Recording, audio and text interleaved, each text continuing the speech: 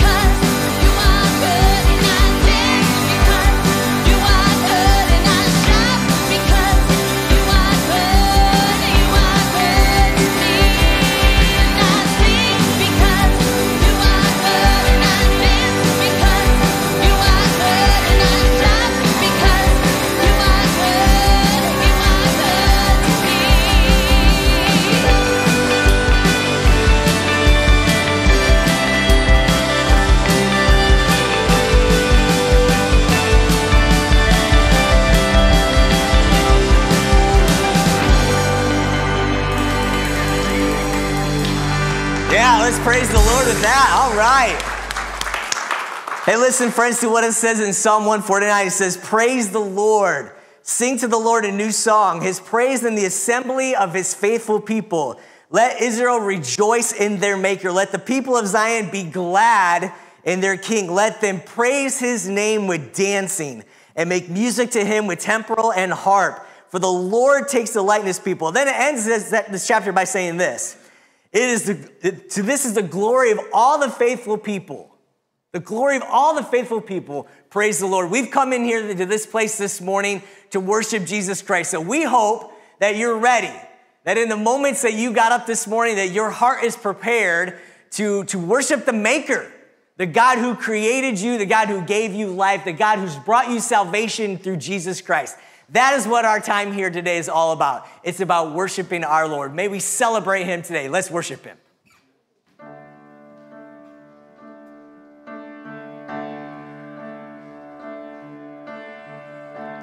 You the word at the beginning, one with God the Lord Most High. You're hidden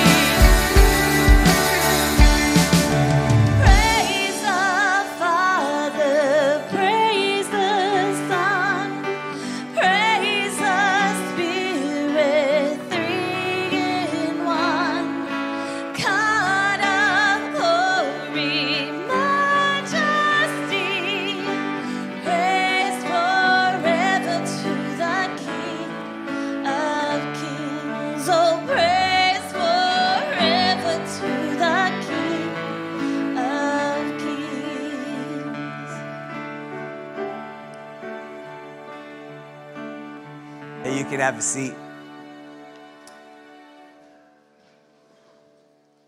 About a couple years ago, um, on Tuesdays, I started hanging out over at Kinder Elementary School uh, just to hang out with some of their students there as part of the mentoring program that uh, was started back a couple years ago. And uh, over the last couple years, I've had the privilege of really sitting in that lunchtime with a little boy.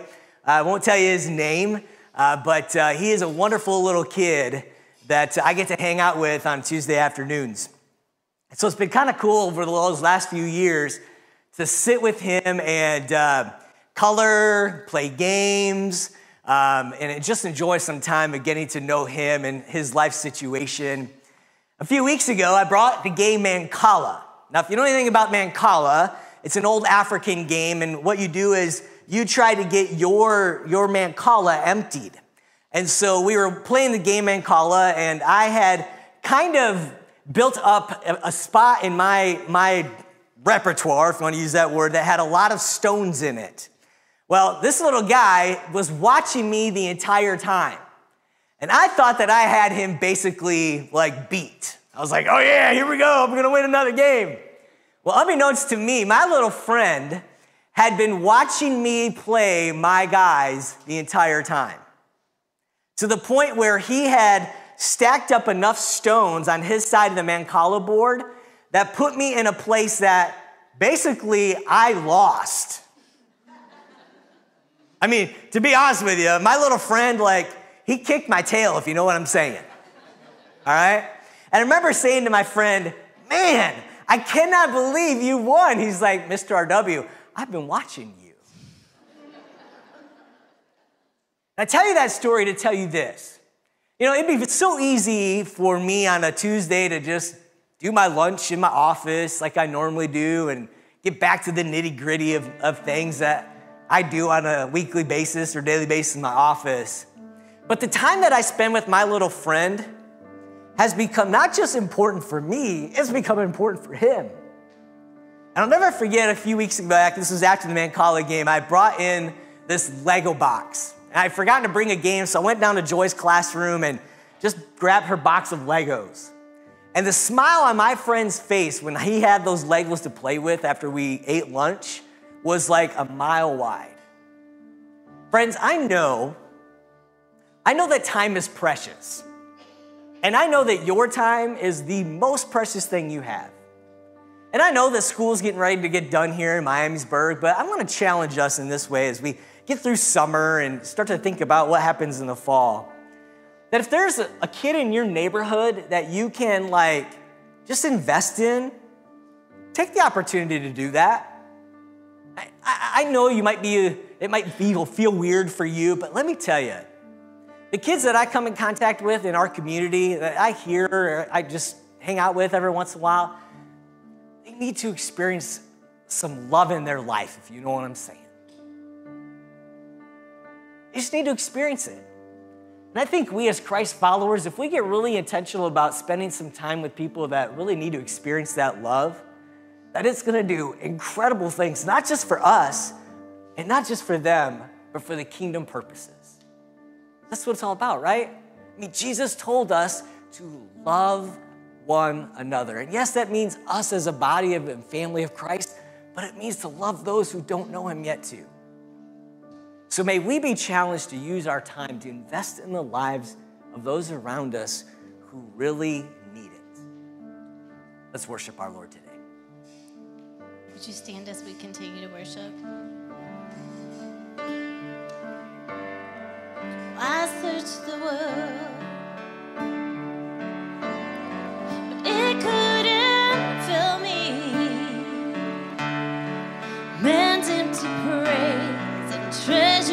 fade never enough. Then you came along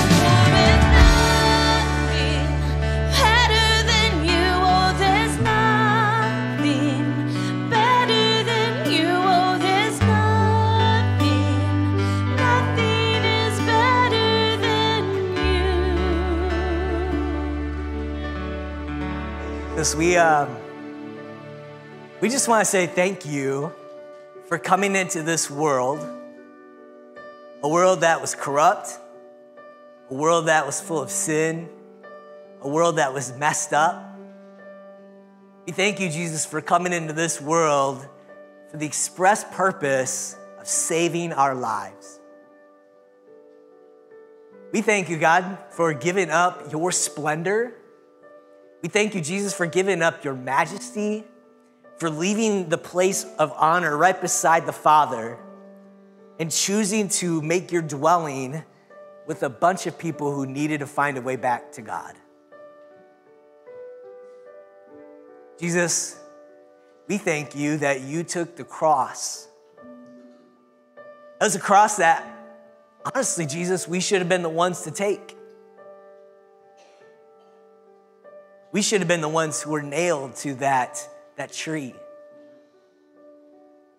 But you so willingly took our place.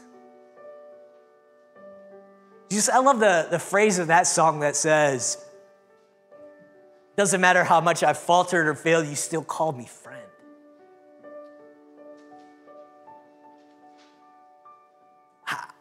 Just is overwhelming that you still call us friend, no matter how messed up, no matter how broken, no matter how just, just far out and right, left, or center field we are from you. You call us friend. You look at us, you love us for who we are, you welcome us into your family, you adopt us, you redeem us, you save us. Thank you. Jesus, I know that there are people here in this room. I know that there are people who are watching online who really needs you to show up in a big way today. Maybe, maybe this week has been a stressful week for them. Maybe the last couple hours have been stressful for them. Would you somehow, some way remind them, number one, of how much you love them, how much you care for them? Number two, how present you are in the midst of the situation. Jesus, today as we begin to look at the helper that you promised, Holy Spirit, the ghost, would you help us to understand what he's all about, who he is? Would you help us to use your word to connect in a powerful way some dots that maybe have never been connected before? So, God, as we quiet ourselves to hear from your word, we ask that the words you've inspired Pastor Daniel to speak to us today would be ones that challenge us to think outside the box of who the Holy Spirit is. Maybe we came into this place and we thought, eh, we know about the Holy Spirit. Would we come out of this place with a different understanding just because of what's said today? God, lastly, would you be the places around this community that are gathering for you? They're gathering to worship with you, whether it's the Wesleyan Church, whether it's the Nazarene up, up on the hill, God, whether it's over at St. James, whether it's St. John's Lutheran, whether it's the greenhouse. God, with the places where people are gathered to worship you today, would they sense your Holy Spirit's presence in a powerful way, just like we're experiencing right here? Praise you today, Jesus. Worship you today, Jesus. Amen. Amen. Amen. Be seated.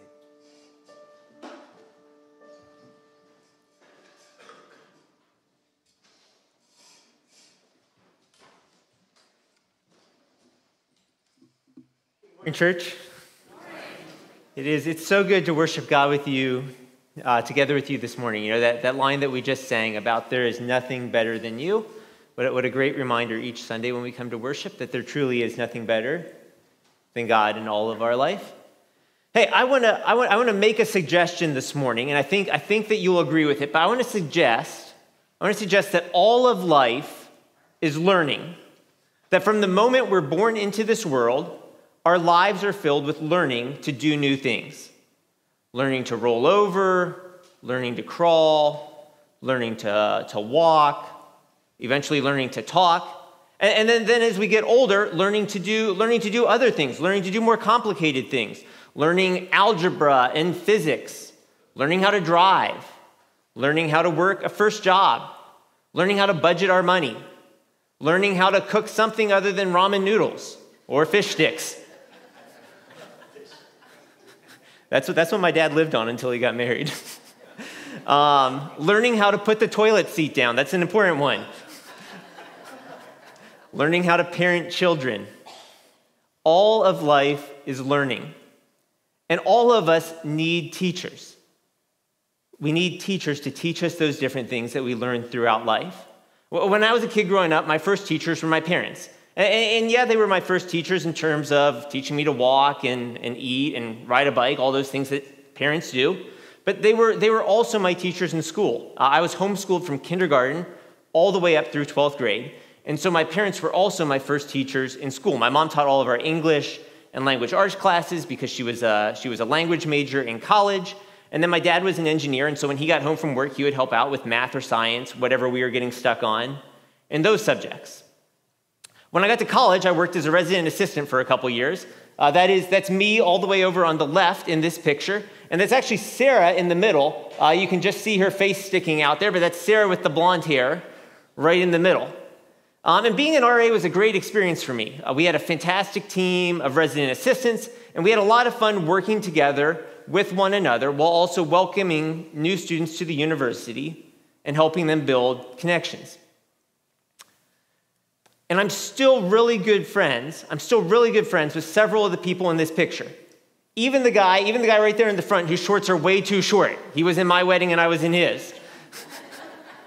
but the guy, the guy right in front of Sarah, if you look right in the middle of the picture here, the guy right in front of Sarah, his name is Jose Torres, and he was the resident director, he was the boss for our team of resident assistants.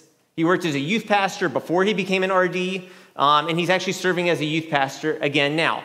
And, and a lot of what I have learned, a lot of what I personally have learned about working with young adults and students in ministry comes from him, comes from Jose. He's been a fantastic mentor and teacher for me. In fact, one of the biggest lessons, one of the biggest lessons that Jose taught me while I was an RA was what to do when things don't go the way that I expected, when things didn't go the way that I had planned. Pretty early on, pretty early on in my time serving as an RA, Jose realized, he noticed, that when something didn't go the way I hoped or the way I planned, I immediately jumped to the worst case scenario. When something unexpected happened, I immediately started playing the what if game. Instead of taking a deep breath, evaluating the scenario, figuring out what changes needed to be made, I would just jump straight to, well, if this happens, and then this happens, and then this, guys, this is going to be a major problem. This is, this is, this is, this is going to be a, a, a, a nine alarm fire. This is going to be a big deal. And Jose pointed out this flaw in my leadership and taught me that what I needed to do, instead of jumping straight to the worst case scenario, was to take a deep breath and evaluate what was going on and figure out what changes needed to be made rather than immediately jumping to the worst case scenario. And I'm really glad that Jose did that. Um, you know, if you asked me to list my strengths right now, I probably would still not list flexibility or adapting to change um, as a natural strength of mine, as, as one, of my, one of my strongest strengths. But I can tell you that I've grown by leaps and bounds in that area of my life thanks to having someone who took the time to point out a place where I needed to grow and then helped me learn how to grow in that area. And so, all of us need teachers and mentors to help us learn. All of us need teachers, just like Jose did for me. All of us need teachers to give us guidance in life. And today we're starting a new series. Today we're starting a new series called Ghost. And over the course of the next five weeks, we're going to be taking a deep dive into learning more about the Holy Spirit, learning more about the Holy Ghost. And we'll be focusing on discovering who the Holy Spirit is and how the Spirit is at work in our lives if we follow Jesus. Each week, we'll be looking at a different facet, a different aspect of the Holy Spirit's nature and how he works in the lives of believers. And here's the big point for this morning. Here's, here's the big takeaway for this morning. The Holy Spirit teaches us a new way of life. All of us need teachers in life. We need teachers to teach us all the ordinary things that we just talked about a couple of minutes ago. But when we accept the forgiveness that God offers us through the death and resurrection of Jesus, and we choose to place our trust in Jesus and follow him, then we're welcomed into a whole new, brand new way of life. You know, the Bible says that if anyone is in Christ, let me, let me give you a couple examples of this just straight from the Bible. The Bible says that if anyone is in Christ, they are a new creation. The old has gone, the new has gone, come. That's 2 Corinthians 5.17. The Bible also says this. This is in Ephesians 2, 4, and 5. It says, Because of his great love for us, God, who's rich in mercy, made us alive with Christ. He made us alive even when we were dead in our transgressions. We're made into a new creation. We're made alive even when we were dead. When we choose to believe in Jesus and put our trust in him, we're brought from death to life. It, it, it's not only that God forgives our sin, it's not only that God forgives our sin and makes us blameless in his sight, but it's that God also gives us a brand new, abundant life. You know, Jesus says in John 10 10, he says, I've come that they may have life, that those who follow me, that those who believe in me may have life and have it to the full. In other words, God offers us abundant, overflowing, never ending, eternal life when we believe in Jesus through his death and resurrection from the cross. That's what Jesus has won for us on the cross and by rising from the grave. And the Holy Spirit, the Holy Spirit is the one who teaches us how to live in this new life that Jesus offers to us. The Holy Spirit teaches us a new way of life. So turn with me to John chapter 14. We're going to go to John chapter 14, verses 15 through 27, and we're going to spend some time looking together at exactly how the Holy Spirit teaches us to live this new way of life. And, we're going to do things a little bit differently. We're going to do things a little bit differently this morning. Instead of reading a little bit of the passage and talking about it, and then a little bit more, and then talking about it, we're actually just going to read through the whole passage first, and then we're going to spend some time afterwards diving into everything that's contained in this passage. So here we go John chapter 14, starting with verse 15. If you love me, keep my commands, and I will ask the Father and he will give you another advocate to help you and be with you forever, the Spirit of truth. The world cannot accept him because it neither sees him nor knows him. But you know him, for he lives with you and will be in you. I will not leave you as orphans. This is Jesus speaking. I will not leave you as orphans. I will come to you. Before long, the world will not see me anymore, but you will see me. Because I live, you also will live. On that day, you will realize that I am in the Father, and you are in me, and I am in you. Whoever has my commands and keeps them is the one who loves me. The one who loves me will be loved by my Father, and I too will love them and show myself to them. Then Judas, not Judas Iscariot, said, But Lord, why do you intend to show yourself to us and not to the world? And Jesus replied, Anyone who loves me will obey my teaching.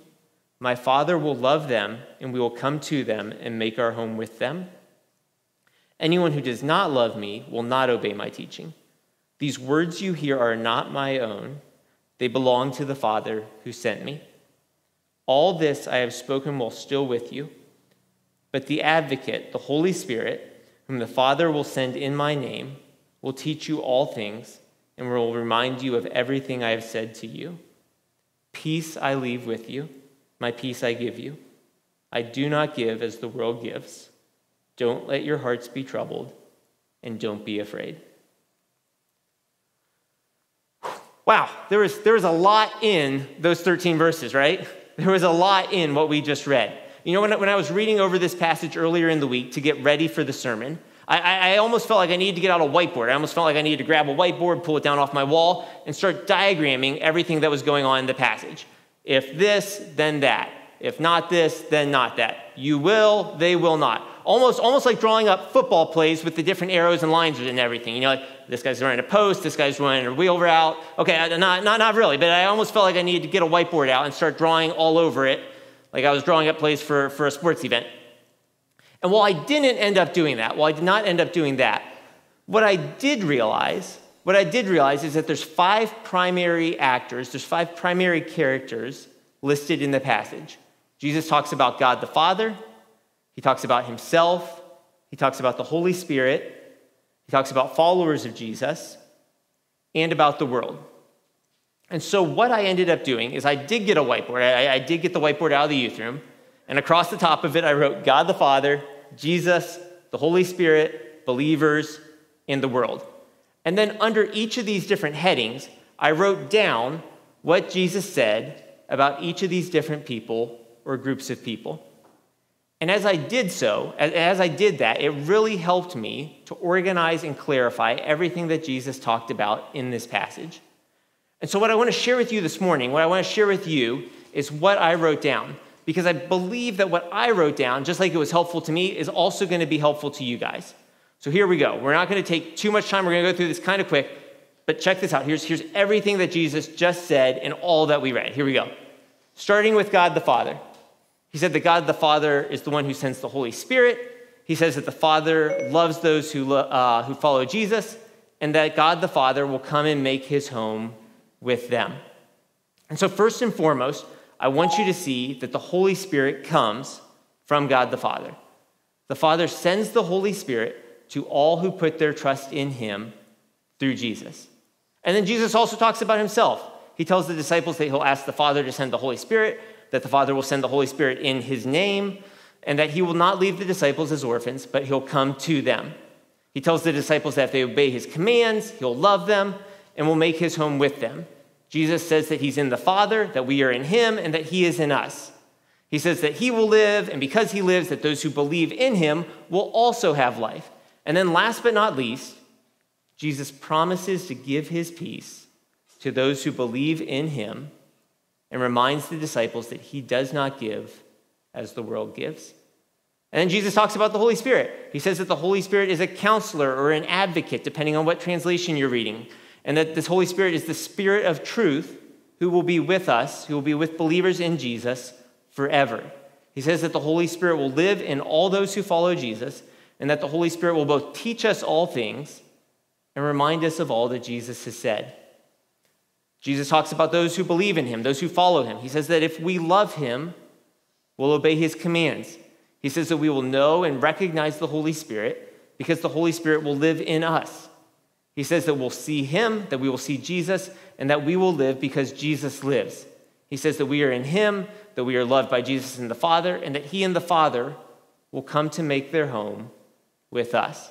And finally, he says that we're given the peace of Christ and we don't have to be troubled or afraid. Whew. There, there is a lot there. Even just on this one slide, there is a lot there, right? That is a lot of good news for us. And then finally, Jesus also talks about the world, about those who don't follow Jesus. He says that the world cannot accept the Holy Spirit. He says that ultimately the world cannot even see or know the Holy Spirit. And then he goes on to say that the world will not be able to see Jesus, that the world does not love him, and that the world will not obey his teaching. So here's everything that we just talked about.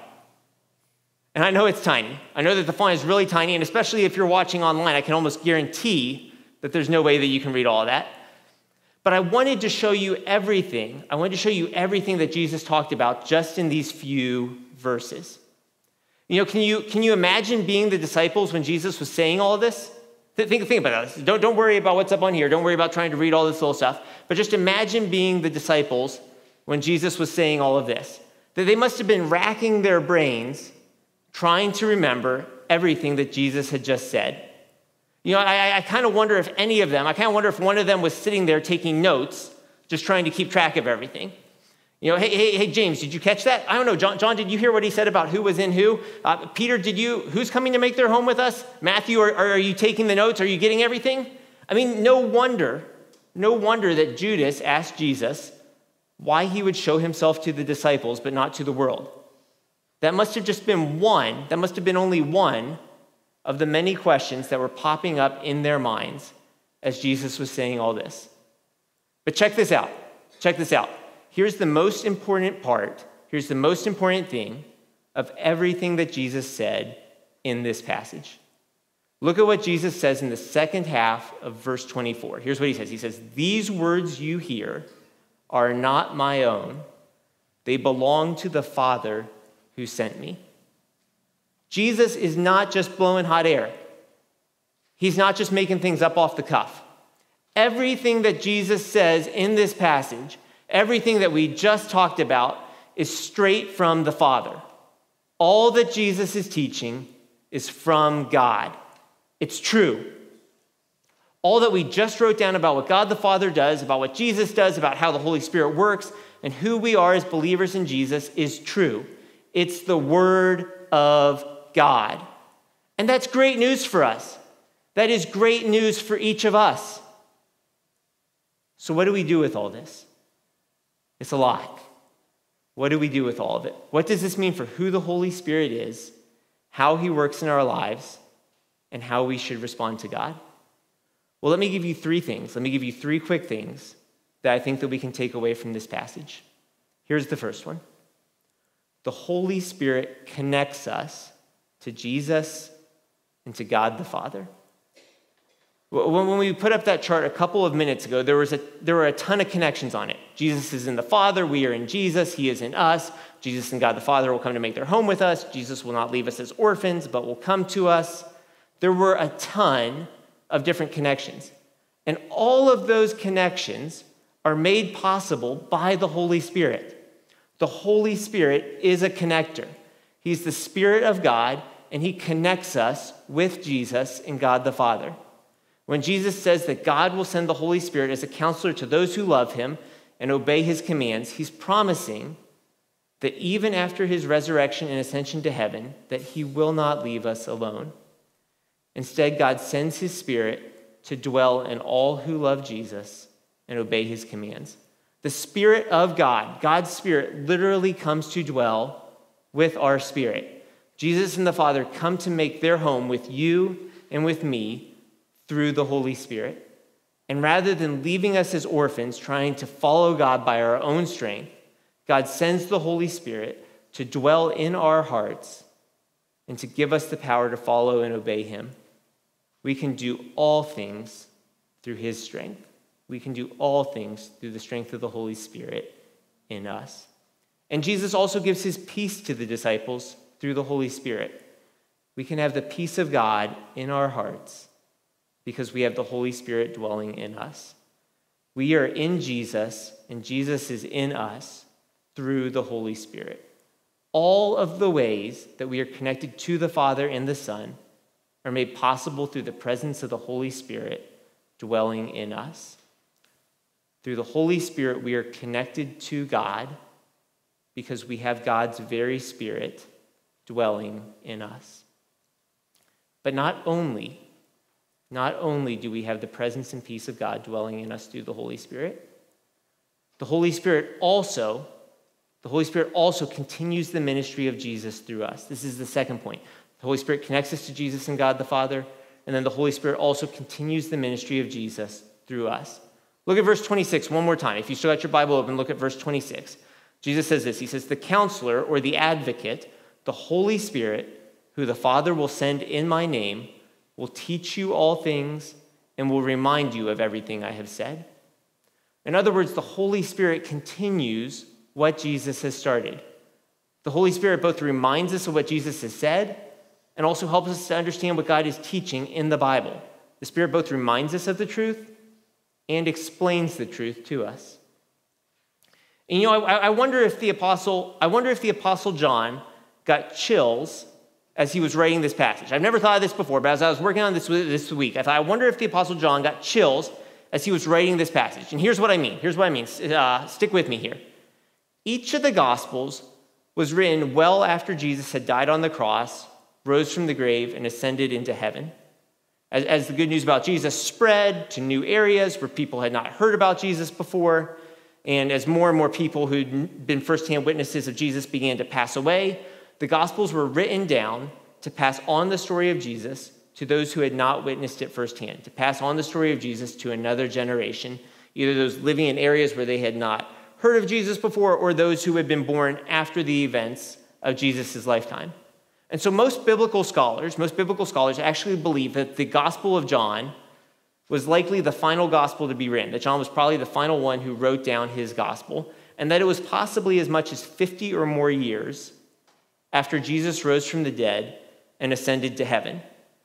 And so, 50 years after Jesus rose from the grave and went to heaven, John is sitting there trying to write down everything that happened from Jesus' life to pass it on to the next generation. And as John is sitting there writing down the story of Jesus' life, death, and resurrection to pass on, he gets to this spot where he remembers that Jesus said that the Holy Spirit would both teach the disciples all things and even 50 years later would remind them of all that Jesus had said. You know, I wonder if John got chills right then and there, realizing that the Holy Spirit was working in him at that moment to remind him of what Jesus had said, to teach him all things, and to continue the ministry of Jesus through him. But, guys, it's not just John. It's not just John. Verse 26 says that the Holy Spirit is doing the exact same thing in each of us if we believe in Jesus and follow him. The Holy Spirit is at work in your life and mine to remind us of what Jesus has taught us and to teach us how to live this new life that Jesus has won for us. The Holy Spirit continues the ministry of Jesus through us by reminding us of all that Jesus has taught us and by teaching us how to live on mission as his disciples. The Holy Spirit connects us to Jesus and God the Father, and then the Holy Spirit also continues the work of Jesus, continues the ministry of Jesus through us. And finally, the last point is this if that's, if that's what the Holy Spirit does, if that's what the Holy Spirit does, if that's what the Holy Spirit is doing, then how should we respond? How do you and I respond to that? And here it is we respond by listening. We respond by listening to the leading of the Holy Spirit. If the Holy Spirit is going to teach us how to live a new way of life, then we got to be listening for the Holy Spirit. If the Holy Spirit's going to be a counselor, an advocate, and a teacher for us, well, then we have to listen for what he's telling us. If the Holy Spirit is going to teach us all things and remind us of all that Jesus has said, then, guys, we got to listen for his voice. Jesus said that those who love him will obey his commands. But, church, the reality is, the reality is, is that the only way that we are going to be able to obey Jesus' commands is through the power of the Holy Spirit in us. On our own, we're slaves to sin. But through the power of the Holy Spirit living in us, we have the strength to overcome sin and to live lives that are obedient to God, that show our love of God by obeying what He has called us to do. And Jesus also said that we don't have to be troubled or afraid. Uh, but the only way that we can live without fear and anxiety is through the presence of the Holy Spirit living in us. On our own, it's so easy to give into fear, so easy to give into anxiety, so easy to give into worry whenever life fails to go the way that we want. But when we have the presence of God living in us through the Holy Spirit, then we can put our trust in Him and experience the peace that only Jesus brings. But we have to be listening for the leading of the Holy Spirit. The only way that we can obediently follow Jesus and experience his peace is by listening for and following the leading of the Holy Spirit in our lives.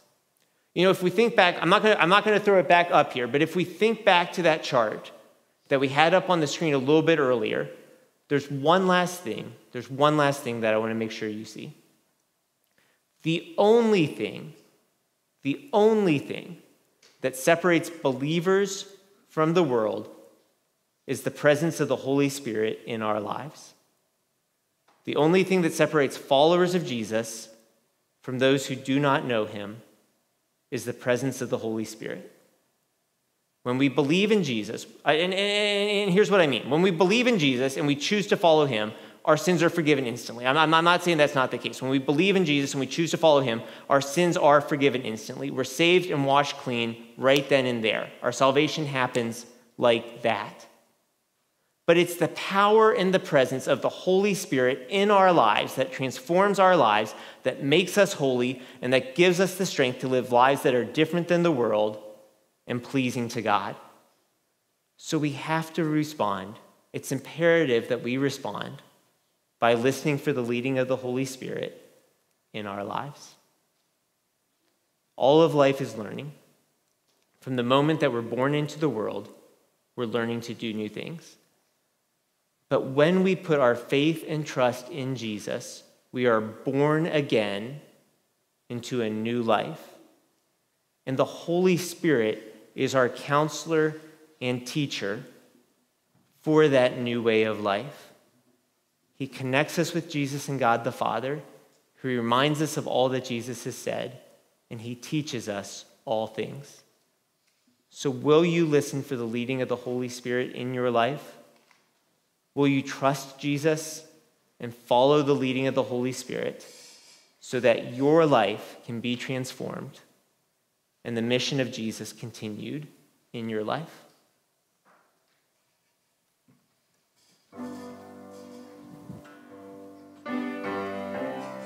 Stand and sing with us? God, you're so good.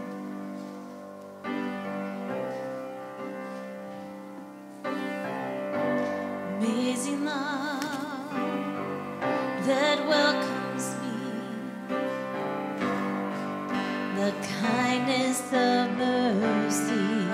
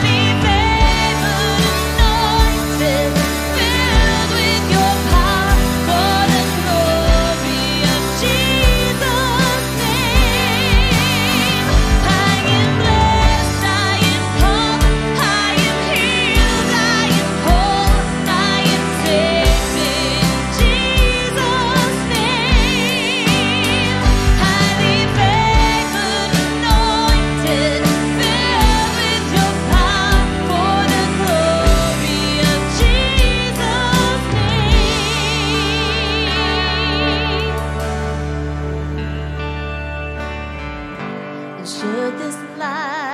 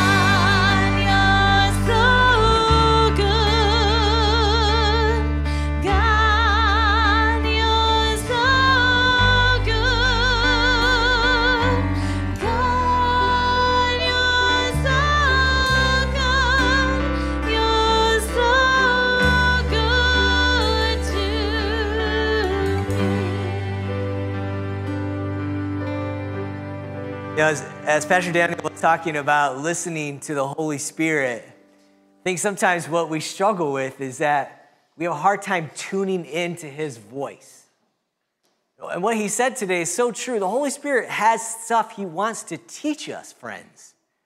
And so we've got to do our best as we're reading scripture to tune into what he's got to say, as we're listening to podcasts or watching a, a teaching video, to like listen to what the Holy Spirit's trying to, to teach us in that moment, because he's got stuff he wants us to learn about him. Thank you, Daniel, for, for challenging us that way.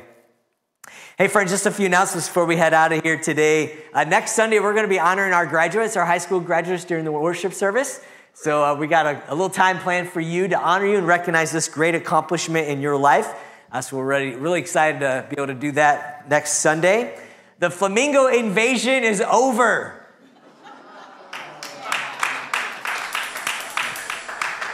Uh, I'm telling you, friends, it was so fun to watch your posts on, on Facebook page and some of the comments you made. Thank you, thank you, thank you for supporting our student ministry in that regard. Uh, you guys helped us raise over $1,800 for our students.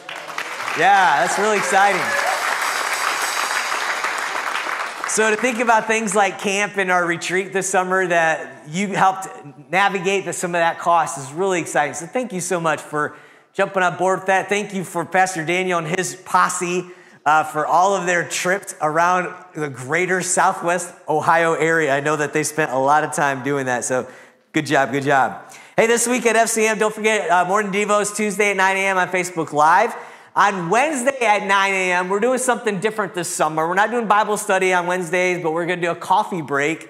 If you don't drink coffee, that's okay. You can still come. And basically, what it is is just, just a time to gather around the table and talk about what you're learning. What is Jesus teaching you? Rather than looking at what we're going to do scripture wise, what is it in your quiet time you're learning? And kind of process that together. So, 9 o'clock, uh, we're going to meet in room 306, which is on the the opposite end of the gym, uh, a little more comfortable of a room in there. So 306 on Wednesday at 9 a.m. And then also don't forget students here 6.30 Wednesday night, uh, that evening. Uh, vision team, hey, if you're on the vision team, don't forget we're meeting this Thursday at 7 o'clock. Just to remind you, you'll get some more information about that in your email box uh, this week. Uh, Pastor Lindsay will be joining us next week. She starts with us next Sunday. And so we're really excited to bring her on board and uh, she's jumping right in. So, kids, next Sunday, FCM Kids is for you during the message time, all right? All right? Um, so, yeah, so as we continue to work through this series, uh, The Ghost, we hope that there's some things that you learn about the Holy Spirit that you did not know before. And so this week, I would just challenge you this way listen. Listen. Try, try your best to drown Hi, out everything else. Choose the voice you'd like. Uh,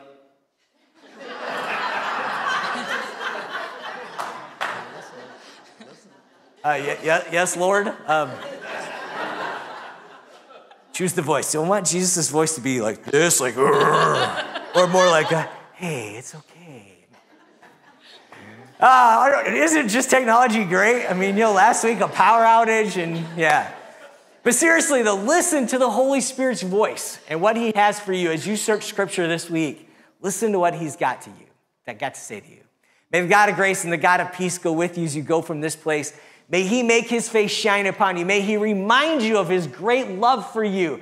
And may you hear, may you hear what the Holy Spirit has to teach you this morning. You're dismissed as we worship this morning. Let's go.